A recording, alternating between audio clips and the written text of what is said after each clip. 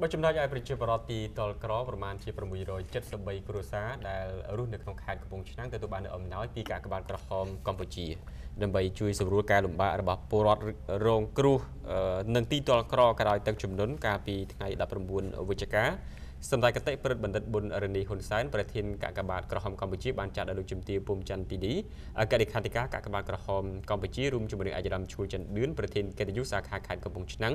រួមជាមួយសមាជិកសមាជិកាបានអញ្ជើញចុះសួរសុខទុក្ខនិងនាំយកនៅអំណោយមនុស្សធម៌ផ្ដល់ជូនចាស់ឥតទីពឹងស្ត្រីមេម៉ាយជនមានពិការភាព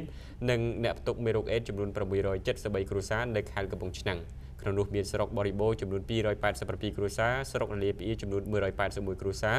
និងស្រុកកំពង់លែងចំនួន205គ្រួសារមានមតិសម្លេងសម្ដាលជាមួយប្រជាពលរដ្ឋអាយរ៉ាំឈូចិនឌឿនប្រធានកិត្តិយសសាខាបានថ្លែងអំណរគុណយ៉ាងជ្រាលជ្រៅចំពោះប្រតិភូកាកបាទក្រហមកម្ពុជាជាពិសេសសម្ដេចកតិប្រិទ្ធបណ្ឌិតប៊ុនរនីហ៊ុនសែនដែលលោកតែងតែគិតគូរនិងបាទគិតអំពីសុខទុក្ខរបស់ពលរដ្ឋងាយរងគ្រោះនៅទូទាំងប្រទេស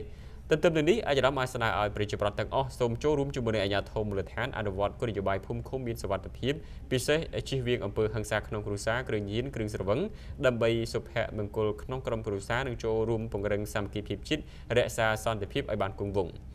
ក្នុងឱកាសនោះដែរលោកជំទាវពុំច័ន្ទទីនេះអគ្គលេខាធិការកាកបាទក្រហមកម្ពុជាបាននាំនៅ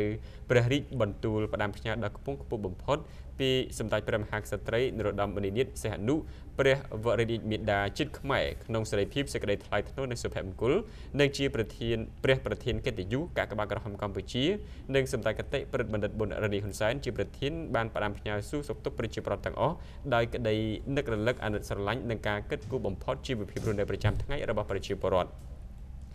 លោកជំទាវអគ្គលេខាធិការបាននាំនៅសារអំពីនីយរបស់សម្ដេចតេជោហ៊ុនសែនជូនចំពោះប្រជាពលរដ្ឋទាំងអស់ឲ្យមានស្មារតីប្រុងប្រយ័ត្នជានិច្ចនៃការការពារ COVID-19 និងចូលរួមទប់ស្កាត់ទាំងអស់គ្នាតាមរយៈការអនុវត្តឲ្យបានខ្ជាប់ខ្ជួននៅវិធានការរបស់ក្រសួងសុខាភិបាល ជាពិសេសត្រូវរស់នៅបែបធម្មតាក៏ប៉ុន្តែអនុវត្តតាមបែបកន្លងថ្មី ជាមួយគ្នានេះបើស្ត្រីមានផ្ទៃពោះត្រូវទៅពិនិត្យឲ្យបាន4ដងមុនពេលសម្រាលនិងត្រូវទៅធ្វើតេស្តឈាមរោគមេរោគអេដដើម្បីការពារកុំឲ្យឆ្លងពីម្ដាយទៅកូននិងស្វែងរកមណ្ឌលសុខភាពឬក៏មន្ទីរពេទ្យបង្អែកសម្រាប់កូនឲ្យបានត្រឹមត្រូវ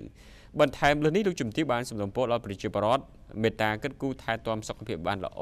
និងត្រូវរស់នៅដោយមានអនាម័យបាទហូបស្អាតផឹកស្អាតដើម្បីជៀសផុតអំពីជំងឺផ្សេងៗ នៅក្នុងឱកាសនោះដែរសម្រាប់មួយគ្រួសារដែលទទួលបាននៅអង្គ25គីឡូក្រាមមីមីកេសត្រីខ10កំប៉ុងខៀតមួយកញ្ចប់មានសរងក្រមាមុងភួយនិងថវិកាមួយចំនួនដែលជាអំណោយរបស់សប្បុរសជនផ្ដល់ជូនដល់កាកបាទក្រហមកម្ពុជាកាលពីពេលថ្មីថ្មីកន្លងទៅនេះ